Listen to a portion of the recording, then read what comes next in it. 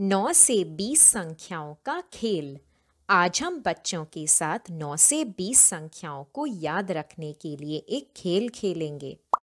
इस खेल को खेलने के लिए बच्चों को इन निर्देशों का पालन करने के लिए कहिए।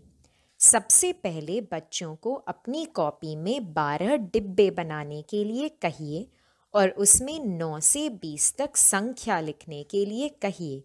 जैसे मैंने यहाँ कई डिब्बे बनाए हैं। बच्चे संख्याओं को डिब्बों में किसी भी तरह लिख सकते हैं।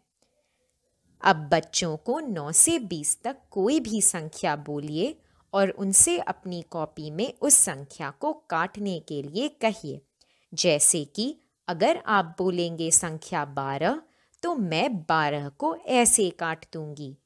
अब अगर आप बोलेंगे 20 तो मैं बीस संख्या को काटूँगी। बच्चे यह खेल अपने परिवार के सदस्य के साथ भी खेल सकते हैं। शिक्षा के बदलते चेहरे के साथ आइए यह सुनिश्चित करने का प्रयास करें कि हमारे बच्चों को सर्वोत्तम शिक्षा प्रदान करने के लिए शिक्षा स्कूल और घर दोनों में जारी रहे। तो बच्चों के साथ यह गतिविधि कई बार दोहराइए और जो भी एक पंक्ति में सभी संख्याओं को सबसे पहले काटते हैं, वे इस खेल को जीत जाएँगे। खेल खेलते समय बच्चों और उनके दोस्तों या परिवार के सदस्यों की वीडियो लेकर हमें व्हाट्सएप ग्रुप पर भेजना मत भूलिएगा।